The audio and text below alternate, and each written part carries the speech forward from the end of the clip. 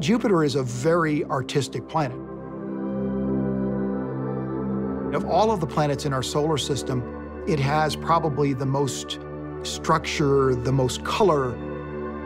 So it connects with the artist. But the idea that you can couple our scientific imaging and understanding of the planet with artistic representations of not only what the planet means, but what exploration means, has been very valuable to the mission and to the public.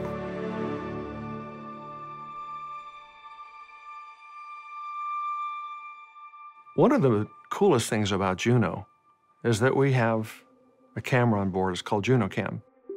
It's what we call a, a citizen science camera.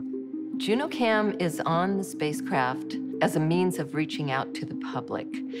When we defined all of the science objectives, what is the mission Juno going to accomplish, uh, there was no need for a camera. The reason JunoCam was added was primarily because I couldn't imagine going all the way to Jupiter and flying over the poles and not seeing what they look like.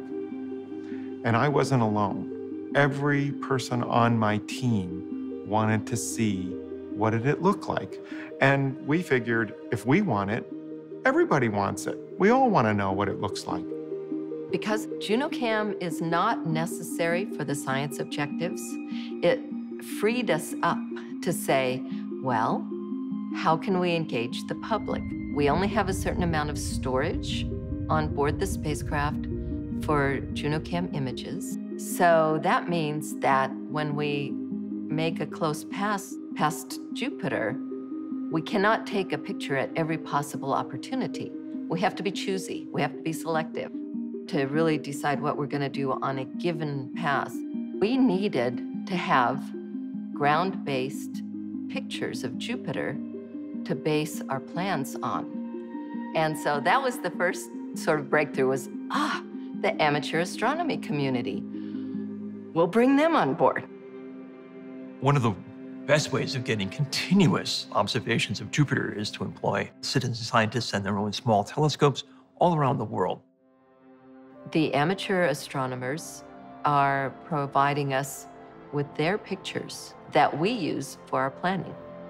They upload their pictures onto our website, and then one of our team puts together a cylindrical map so that we can see all of their pictures stitched together we have the public actually identify points of interest, and people say, oh, I think this feature is interesting and we should have a picture of it, and here's why.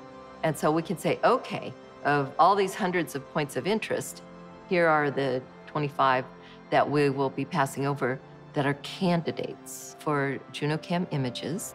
So then we, we put it to a vote. What we have then is a prioritized list of targets. Then we develop the actual commands that go to the spacecraft. The camera carries out its commands, takes the pictures by voting priority. And then we post the data on our website. That is there for anyone to do whatever kind of processing they would like.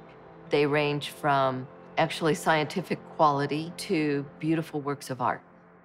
The citizen scientists are people from every walk of life and almost every age group. Children in schools doing it, teachers. You have engineers that work for NASA that don't get to play with the data, but now they do. A whole bunch of the pictures that are being made are equally art as they are science, and people are purposely expressing themselves. I see pictures being made where Jupiter's there and they've got an astronaut that they've pasted on top. I've seen them where they take a picture of Jupiter and they add it to a photo like you're on a moon of Jupiter. There are people that put Juno into the picture. There's one I love. It's a little angel standing on a perch and she's looking at Jupiter. And it's just like, oh, that's so cool. That's, I could be standing on that perch. That's kind of how I feel. Another one of my favorites, it's a cup of coffee. And the swirls in the cream are like swirls in Jupiter's atmosphere. What scientist would think of doing that with our data? And yet it's like, oh yeah, that's me. That's my coffee. the camera was put on really to engage the public and allow them to share it with us. it's actually become a very important scientific instrument. And it's providing us the first discoveries of Jupiter's polar dynamics. How does this atmosphere really work? It's the context for our infrared and seeing beneath the clouds. When we started out, we had this concept that we would do science in a fishbowl, explain what we were doing all along the way. And then we decided, well, why even have a fishbowl? We'll just invite everybody into the fishbowl. Citizen scientists that are making pictures for us are part of our science team. We show the pictures, and then there's a team of scientists, and some of them are atmospheric experts, and they're looking up going, What's that? You know, oh, and, and now they're writing papers about the pictures that citizens of all from all walks of life have made. In fact, some of them have made so many pictures that are so important, we're inviting them into scientific publications because they're they're part of the team. And uh, it's exciting, and, and I hope that they're getting as much excitement as we are from what they're doing.